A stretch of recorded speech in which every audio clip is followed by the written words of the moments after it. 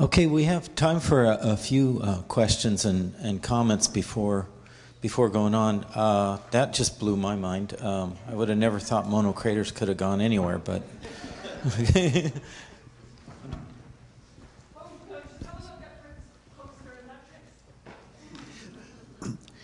What, what seems to be emerging here as a, as a not common theme and maybe a common necessity is, is the need to analyze very small particles, need to separate them and to analyze them.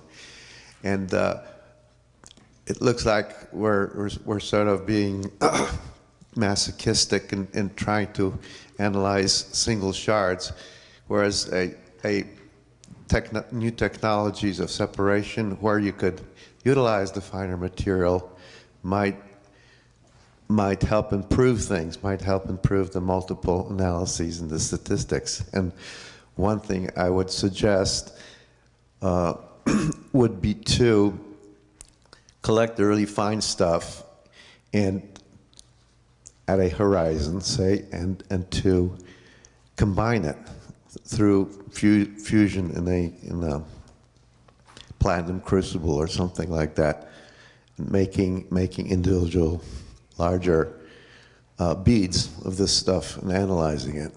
So that's one way of maximizing a, a sample, a limited sample, such as a core.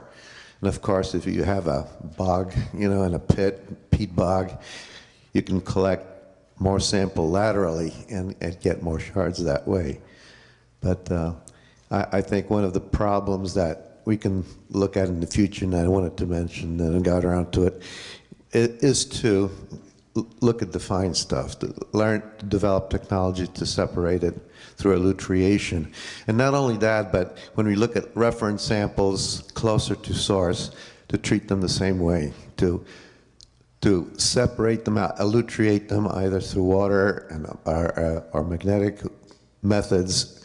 Uh, Glenn Berger has developed these very sophisticated ways of standing the, the Franz magnetic separator on its side and putting a, a tube down and, and having magnetic separators, actually a very fine material, settling down and separating according to magnetic properties. So there are ways of dispersing and, and uh, concentrating these things. So something for your consideration.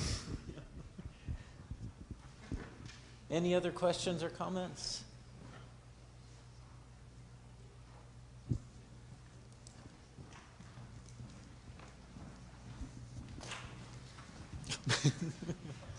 It's just a quick comment, but for uh, particularly small glass shards um, where, where the science is particularly interesting, there are techniques available that can attack uh, trace elements on a very small scale, things like nanosims, which are uh, you know, available to some people. These techniques can be a bit tricky and a bit expensive, but uh, for particularly precious samples or, or, very exciting science like what Jill is doing, these, uh, these techniques uh, are certainly available to people.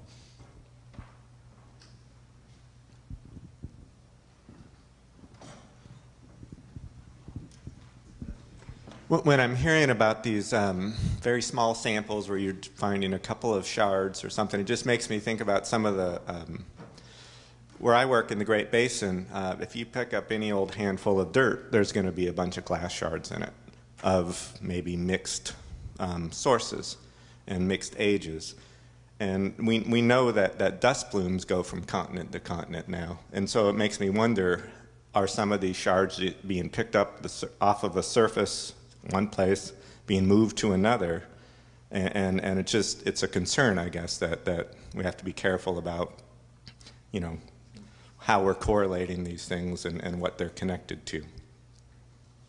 Interesting. Anything else for now? Okay, so uh, Mike, is this going to be locked while we're gone, or do we need to? Okay. I guess. Okay. How about our pockets? Is that okay? okay, so we'll um, uh, fantastic session today so far, and we'll reconvene at uh, two o'clock and have a wonderful lunch.